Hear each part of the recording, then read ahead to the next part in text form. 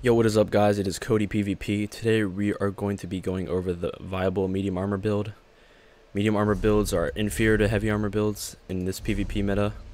So today we're going to be going over how this is viable. We will be explaining why it's viable and how it works and I will be putting together some clips for a montage using medium armor only among the classes I have. So like Stam Nightblade, Stamplar, Stam Sorc, Stam DK. So let's first jump into the sets guys. We are running Bloodspawn and Stormfist.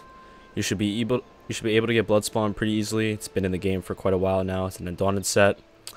It's going to be giving us the sustain of this build. So we are running Stormfist as well, which is just like Bloodspawn.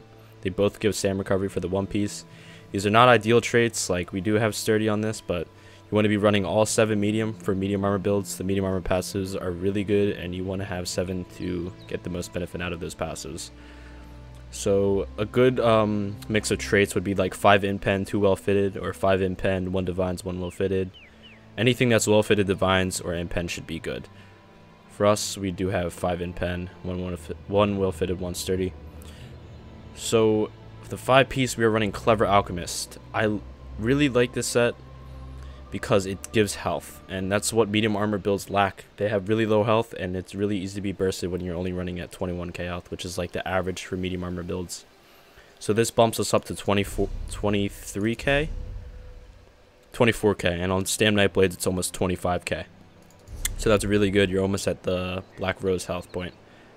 It also gives us insane damage. We get 129 for the four piece and another 661 when drinking a potion. We can buff up real quick Let's drink a potion. And our weapon damage goes to 4600. If you would like to see the Dizzying Swing tooltips, we have 17k and 17k for the Dawnbreaker Smiting as well. So that's really good damage, keep in mind. We're running 3 agility still, and the Maelstrom weapons. So it's a pretty basic setup. We have 64 in the stamina, and we have the Serpent Mundus Stone, and we are Vamp reason we are a Vamp is for the 10% stam recovery and some of the damage reduction passes it also gives you. For the skills, we have a Dizzying Swing, Biting Jabs, Critical Rush, Executioner, Rally, Dawnbreaker, Smiting.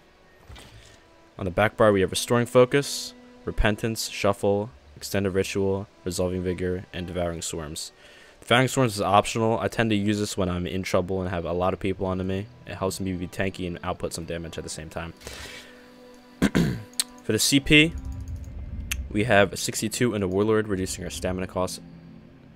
We have 72 in a Mooncalf, and 53 in a Tumbling. We have 10 in a Blessed, 77 in a Precise Strikes, 100 in a Mighty. For the Steed, we have 67 in a Resistant. We have 60 and 60 in both of these. Remember, the Unchained passive is very valuable. You want to make sure you have this. And we don't have any points to that. So that is it for the CP. So guys, basically, I really like this build because we have really good sustain. It's not the best. We have 1600 on our front bar and 1700 on our back bar. And with a pot, it goes up to 1800, 1900. And then when you kill someone with a two-hand, which is going to be the case because it is our main bar, we get another 30% on top of that. So you're looking at like 2k and above, which is really good.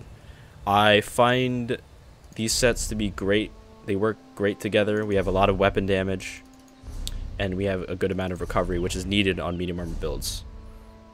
I feel like I can roll dodge plenty. I don't have any sustain problems. We also have repentance as our secondary sustain.